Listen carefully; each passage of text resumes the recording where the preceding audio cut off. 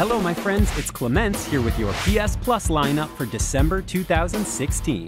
This month we have Invisible Inc. Console Edition on PS4 and Stories The Path of Destinies.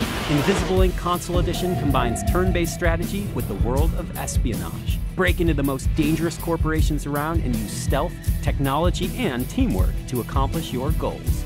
And if you're anything like me, don't trip over something on the way out. That seriously always happens. Next up on the list Stories The Path of Destinies on PS4. Guide the heroic Reynardo through a world that's always changing, where your choices affect Reynardo's fate and the lives of those around him. It's like if a choose your own adventure book wasn't a book at all, but a video game. I think I've made my point here. And that's it, friends. As always, PS Plus members get access to online multiplayer on PS4 alongside other benefits, including free games and exclusive discounts on PlayStation Store. Head on over to PlayStation Blog for more details, and we'll see you next year. PlayStation.